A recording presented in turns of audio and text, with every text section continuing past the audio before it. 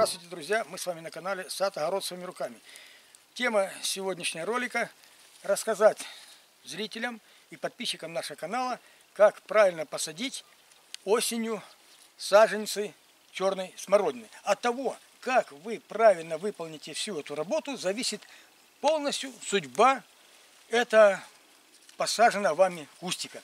Вот мы стоим около куста, сорт ядреная, ему четвертый год. Видите, как он разрастается за эти четыре года? Почти полтора метра.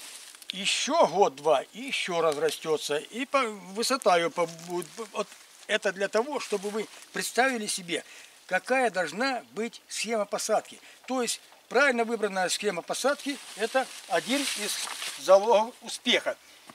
Междурядье должно быть не менее метр восемьдесят, в ряду не меньше полтора метра. Тогда в ряду эти кусты несколько почти сомкнутся, а по междурядью останется проход, по которому мы будем работать с этим кустом.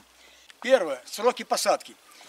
Не нужно спешить сажать и приобретать посадочный материал. Подождать, когда уже начнут несколько легко вот так опадать листочки от, от первого прикосновения. Если, и видите, они уже начинают, как говорится, подготовиться к зимовке, цвет меняют там и, и так далее, и так далее. Если рано мы посадим, куст еще будет, можно сказать, вегетирующий, будет много испарять влаги лист, который еще будет живой. И есть большая вероятность, что куст может не прижиться или при этом болеть. Следующий момент – это правильная подготовка посадочной ямы. Она не должна быть слишком маленькая, но если хороший графон, не слишком и большая. Видите, у нас здесь почти получернозем. Это здесь когда-то была теплица, мы как-то рассказывали. Здесь много внесено органических, минеральных удобрений. Вот примерно так – выкапываем сантиметров на 30-40. Сюда вносим до пол ведра очень хорошо перепревшая навоза, сыпца. Сюда же вносим до 100 граммов нитромофоски. Ну, я уже на глаз знаю примерно сколько это. Сюда же вносим до стакана древесной золы, желательно лиственных пород. Следующий немаловажный момент при посадке – это глубина заделки саженцев. Вот это саженец выкопанный со школки, это мы ее не пересаживаем, скажем, быстрее переваливаем, потому что почва вся осталась. Видите, вот здесь почки – это будущие ветки в следующем году. Их необходимо прикопать вот так, одна, две, три, четыре, пять, с глубины 3-5 сантиметров, они обязательно в следующем году вылезут. И это будет уже образовываться кустик. А если мы еще дадим запас еще на 5 хотя бы сантиметров, мы вот эти вот вылезшие в следующем году веточки еще прикопаем, и они еще дадут корни, и еще разрастутся. Тогда у нас образуется настоящий куст. Сажаем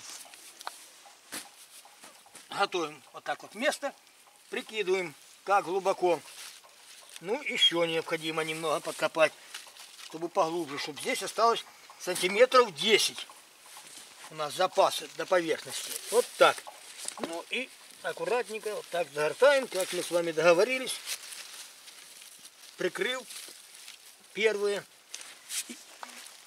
И, вот так вот немного увеличиваем чашку, в которую мы потом будем много лет производить полив, чтобы не растекалась вода, чтобы к корням вся она поступала. Ну вот примерно так. А в следующем году, когда уже вылезут отсюда веточки, мы еще чуть-чуть их, 2-3 сантиметра их прикопаем, и это будут дополнительные которые, ветки, которые еще дадут развитие. Ну, после этого, естественно, поливаем, поливаем, не жалея воды, чтобы полностью посадочная яма была влажная. Очень важно правильно произвести сразу обрезку. Оставляем на поверхности 4 и не больше почек, чтобы именно даже не они пошли в рост, вот эти почки, а те, которые мы с вами прикопали. Иначе получится стволик, а здесь отходят ветки, и потом это будет одиноко стоящее растение, так сказать. Вот таким вот образом. А после еще подсыпем, как я сказал.